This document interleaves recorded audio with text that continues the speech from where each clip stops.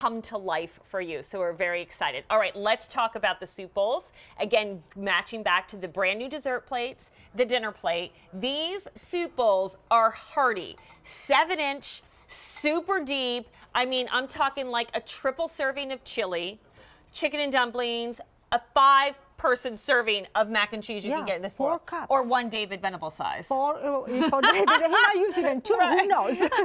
he might, But four cups. four cups. So this is nice individual serving, like you said. But you can even use for side dishes too. You can put your peas and carrots. Oh yeah, creamed corn, your side dish. Yes, Yeah, I yes. love You can this. put croutons for your salads, and you can make so many uses. And if you like big ice cream bowl, Yeah, now we're talking. I have- loaded with whipped cream, hot fudge sauce. Yes, you can do many, many things in there. But of course, our soups in the office, if you bring this bowl in the office, Oh, wait till you see. Oh you, yeah. you can microwave Mm. and have a special time just for yourself. How much you're gonna feel when you're gonna sit and you treat yourself special.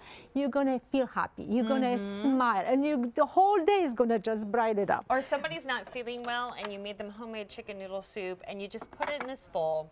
It is that sign of love. It's it's just, you know, I remember my grandmother having her special pieces. Now they were Italian, so she had things that, that she inherited.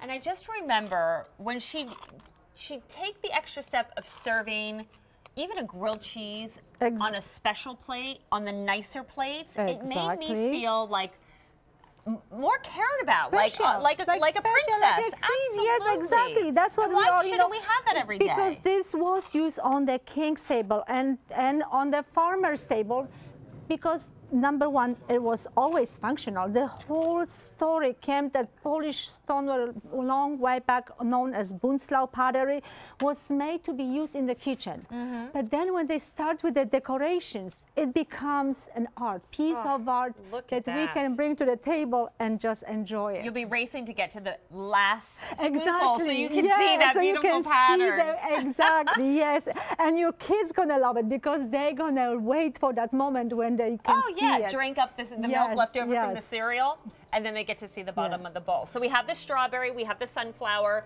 the poppy, and the golden honey, just like we had with our brand new dessert plates, the dinner plate that we showed you, and um, so many of the pieces that are going to be here throughout the hour. But that is your seven-inch, four-cup soup bowl for five easy payments of $11.31. A lot of you loving golden honey. Maybe it's because of the bees, our little workhorses in the garden, right? Our true champions to keep everything looking so pretty. So still to come,